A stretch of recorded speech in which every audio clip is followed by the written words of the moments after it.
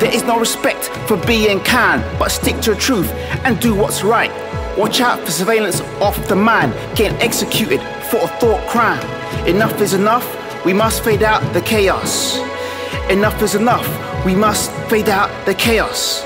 Enough is enough, we must fade out the chaos. This kakistocracy is not for us. We fight back, no one is safe. Shut down the thugs, shut down the rapists, shut down the pedophiles. Shut down the corrupt politicians. Let the community be the judge to make the real decisions. World peace is our mission.